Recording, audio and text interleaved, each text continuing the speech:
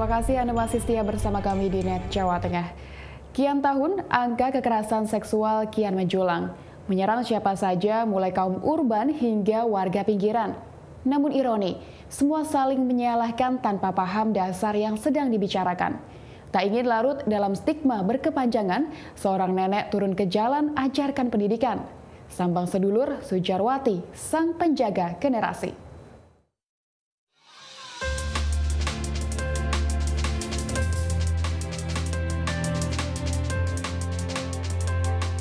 Betul sudah tidur tapi siapa ngerti nek kene ge anu cuk-cuk kono tangi kan bahaya. Guyu. Jenenge apa Bu? Jenenge ngomong ketek soalnya gini kan anak korban kekerasan itu nantinya akan jadi pelaku. Ya toh? Besoknya dia kalau sudah dewasa dia akan berpikir wah eh piye toh biar aku diginikan? Gitu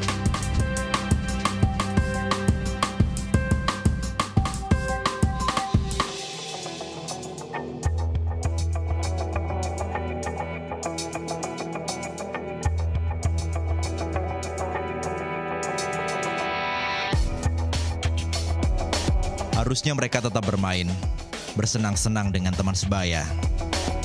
Namun fakta berbicara, sering kali mereka terlibat perkara.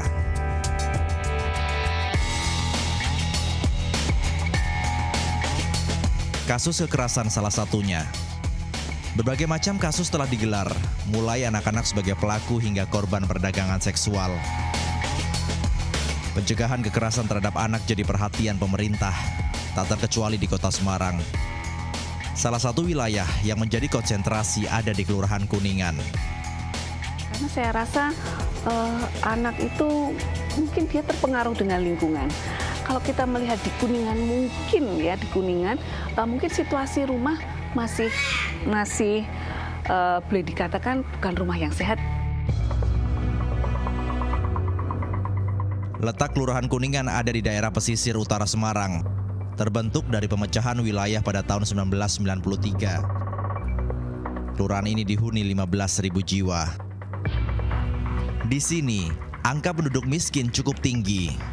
Daerah minus yang terpasung, angka kekerasan pun melambung. Ya tahun 80-an ini mau masuk ke daerah Kuningan aja ya itu merah ya. Ya, tidak ada yang berani ya. Semuanya pakainya alat semua. Banyak orang peminum-minum ya orang nakal banyak sekali lah.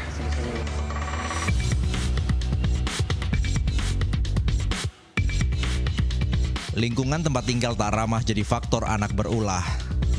Mereka bahkan banyak tahu hal yang seharusnya masih tabu.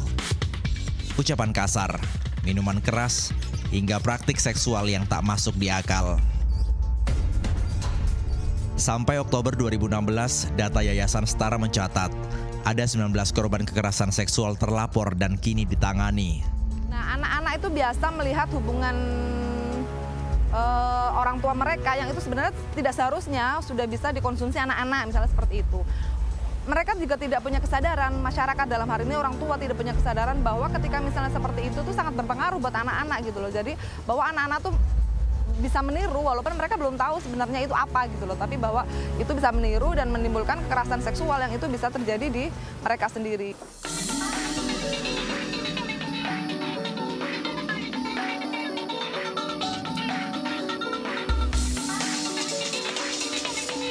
Tak biarkan semakin larut, relawan dan warga turun tangan lakukan upaya pendampingan. Seperti apa Mi contoh kekerasan seksual yang pernah ada di lingkungan ini? Ada berita di R2 itu eh, anak perempuannya itu mau mau digitukan konangan sama adiknya. Dijotosi bapaknya lari itu pernah kejadian itu. Kemudian di RW 8 itu ibunya nikah lagi anaknya anu melihat kan masa anu sisan Arus teknologi merapat, selancar dunia maya tak lagi bersekat. Konten pornografi pun kini mudah didapat. Sadar warga kurang edukasi, Sujarwati gencar lakukan sosialisasi. Termasuk berbagi trik agar hubungan suami istri tak terlihat buah hati.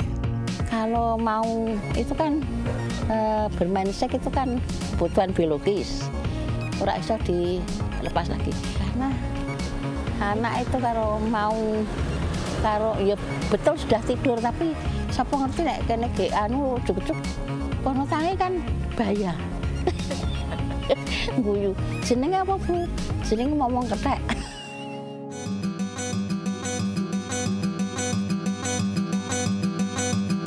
Berkeliling dari satu pintu ke lain pintu rumah warga, baginya adalah tugas mulia.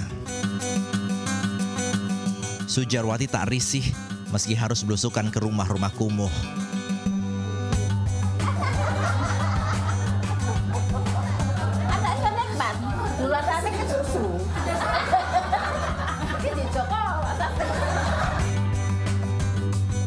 Anak-anak di usia emas mudah meniru apa yang ada di sekitar. Inilah yang jadi alasan mendasar Sujarwati ajak warga pinggiran peka agar cara hubungan intim tetap terjaga. Ya gini caranya, caranya bu? Gini kamu tidak punya kamar lagi, gini caranya.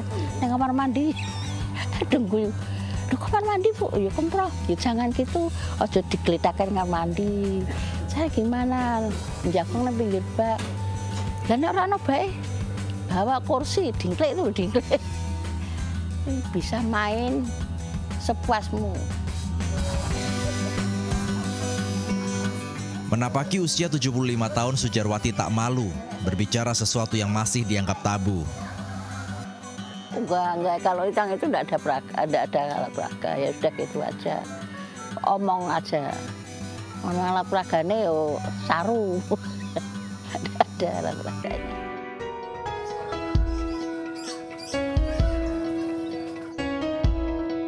Bukan semata-mata ingin menggurui. Lewat metode ini Sujarwati ingin tekan laju angka penderita HIV/AIDS yang masih tinggi. Baginya, anak-anak adalah lembar kertas yang akan legam bila tersirat tinta hitam.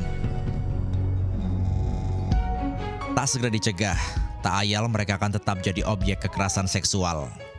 Ajarkan mereka membidik, bukan dibidik. Tugas mereka adalah belajar, dan kewajiban kita sebagai orang tua adalah memberikan hak ajar. Kemiskinan bukan lagi soal alasan, mereka menjadi liar dan kebablasan. Negeri ini butuh banyak sekali duplikasi tangan seorang Sujarwati Jalal yang bekerja ikhlas tanpa memungut imbalan.